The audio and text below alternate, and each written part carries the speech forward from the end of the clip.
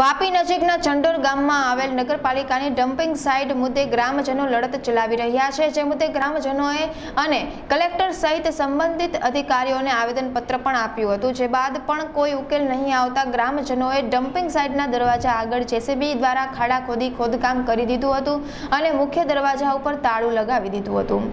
આ તાળાબંધી બાદ ગ્રામજનો ગામની સીમમાં અનિશ્ચિત મુદ્દતના ધરણા પર બેસી ગયા હતા. ત્રણ વર્ષથી મેં અથાગ લેટરો લખ્યા છે. ભૂતકાળમાં ઘણા લેટરો પણ લખાયા જ છે. છતાં કોઈ તંત્ર હાલતું નથી. એકમેકને ખો આપવાનું કામ કર્યું છે. કાલે ધરણા માટે ગયા. ત્યારે પણ કલેક્ટરે હાથ ઊંચા કરી દીધા. એકસો ચુમ્માલીસ લગાવી દીધું. બીજું બનાવટી. અને અમને ત્યાંથી પણ ભગાવ્યા. હવે અમારી પાસે કોઈ લોકશાહી માટે હવે આ જ રસ્તો છે. કાં તો અમે આ બનાવતો પાસ અને ટ્રેક્ટર રોકશું.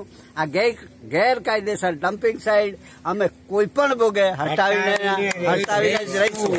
હું નામદા ગામનો સરપંચ છું અને જે આ આંદોલન આપણા નામદા ચંડોર ગામના વાસીઓ ચાલુ કર્યું છે એમાં અમારો નામદા અને ચંડોરના સરપંચનો સંપૂર્ણ ટેકો છે.